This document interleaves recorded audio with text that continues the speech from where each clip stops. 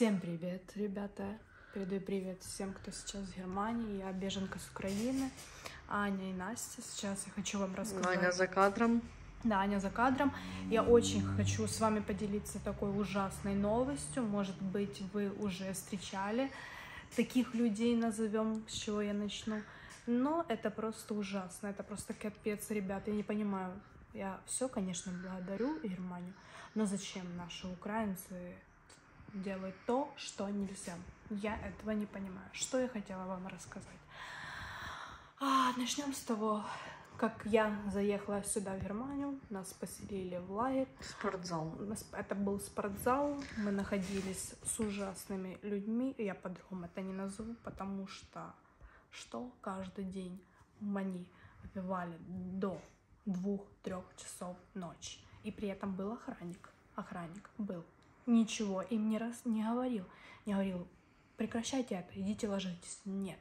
Всем было все равно. Они бухали каждый час, каждый день, с утра и ночью. Ну, с утра у нас другой персонаж был, о котором сегодня будет речь идти. Вот так у нас продолжалась жизнь в лагере, мы это терпели, терпели, мы там находились две недели, потом всех начали, начали расселять по вот таким прекрасным, э, кого-то в школу, кого-то в гостиницу, гостиницу кого-то вот в полицейский участок, кого-то э, просто поставили контейнера, я даже не знаю, что как это называется. Ну, типа... Как это у них называется? СМС-городок? Да, типа городки СМС. Э, может, Ой, я не могу, я прилягу. Да, из которых контейнеров, в которых они там живут, проживают в данный момент. И как бы вот, и мы тоже находимся. Я очень благодарна Германии, что я попала в такие условия. Мне очень все нравится. Что я хотела рассказать более подробнее? Я хотела более подробнее вам рассказать о случае с беженкой, который приключился. Я думаю, не только я, вы от меня это услышите, я думаю, что у вас очень много историй таких было. Вот. У нас есть печальные новости в Германии для украинцев. Я вам расскажу то, как не нужно делать некоторым мамочкам на территории Германии. Это касается, я уточню, алкашей. А их да. много. Да, их здесь много, не только наших, то понятно, но сам факт, факт как не нужно делать. Если не хотите проблем. Если не хотите проблем, если вы хотите здесь остаться, пока война у нас как бы длится. Поэтому думайте, прежде чем что-то делать. Так вот, начну рассказывать вам про эту беженку. Она находилась в нашем лагере, жила с нами в спортзале я не знаю, сколько лет, я не буду говорить, уточнять информацию, откуда она и что. У нее был ребенок. Ребенку было 5 лет. Или 6. 5 или 6 лет. Ну, что было и есть. Ну, есть. Я, в общем, говорю, э, поведение ребенка, я считаю, было, ну как, его, помнишь, девочка била, кстати? Да, он как бы тихий был, это было видно, что типа... Он запуганный Ну, воспитания как бы нет, он сам по себе, он ребенок сам по себе бегал, игрался. Никому не нужен Никому не нужен был. Он утром, с самого утра, сколько дней я выходила из спортзала в лагерь с Аней, он постоянно то к нам подходил, то к другим людям и спрашивал, а где моя мама? Особенно вечером. А где моя мама? В 9 мы выходим, Либо... 9, 10, 11. Мы, ну, мы часто ходили да. курить, мы выходим, и он всегда подбегает и спрашивает, вы не видели, видели мою маму? Мы просто, я думаю, капец, вот это да. Ну, типа, но ну, уже не, не первый раз, ну, мы никуда не лезли, но и как бы странно нам это все казалось в том, мы как бы это А мама всё... сидела где? А мы вот это потом все вышли покурить спать и видим, что мама сидит за столиком, и что делает? Улашенная в хлам. Улашенная, бухает во все. Ребенка забыла, что она где-то этот, она забыла, что она в Германии, она забыла про законы. Да ладно. Так каждый день это было. Каждый да? день это длилось, длилось до двух, до трех часов ночи. На это я не знаю, почему охранники закрывали глаза. Для меня это до сих пор непонятная история. Как бы да. Что было потом? Вот так они жили в том лагере, я их встречала с Аней, иногда я же говорю, ребенок сам по себе утром, днем и вечером, как бы мамы нет. Мама придет, он хочет кушать, она его заставляла есть мивину, чтобы вы понимали. А он не хотел, лет, она ему подзатыльник Она орала на него, что? Ешь лапшу, я тебе сказала, ешь что мивину, либо ты сейчас вообще ничего не будешь есть. И как бы да.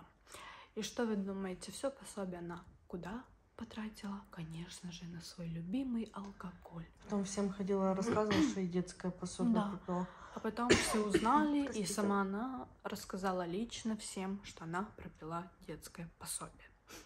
Очень интересно, увлекательно, конечно. Зачем об этом говорить, уточнять, я не понимаю. Ты сама себе делаешь проблемы. Как бы мы это вот сами не понимаем, зачем так делать.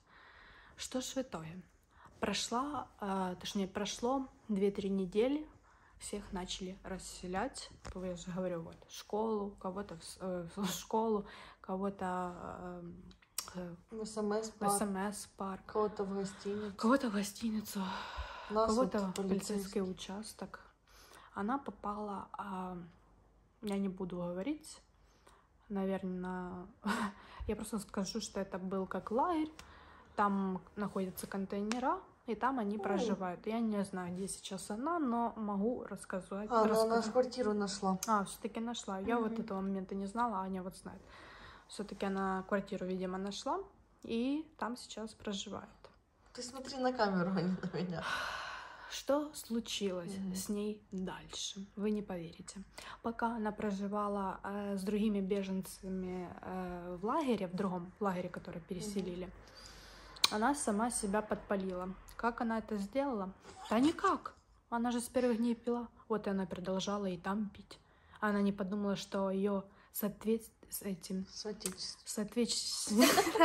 Не знаю это слово. Ну, короче, вы поняли. Ее напарники по поводу этого могут же ее подставить. Ну, такие же, как она. Такие же, как она, настучали на нее в полицию.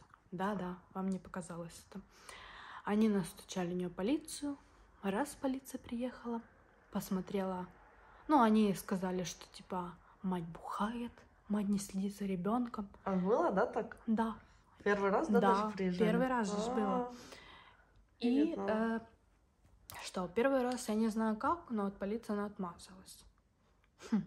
Прошло месяц или даже больше.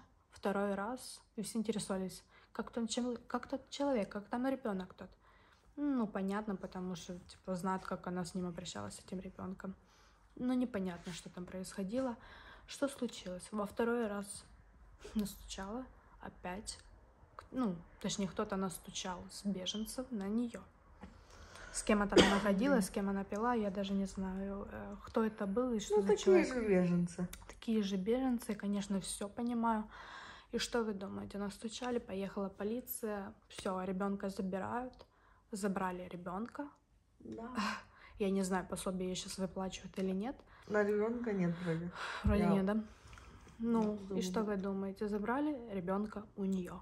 Да. Она осталась одна, сейчас она плачет, я не ну, знаю. Я считаю, что это пьет просто она, не она пьет. доигралась уже, просто доигралась. Она доигралась, человек. и как бы она знала, В Украине что, такой номер прокатит, типа, тут нет.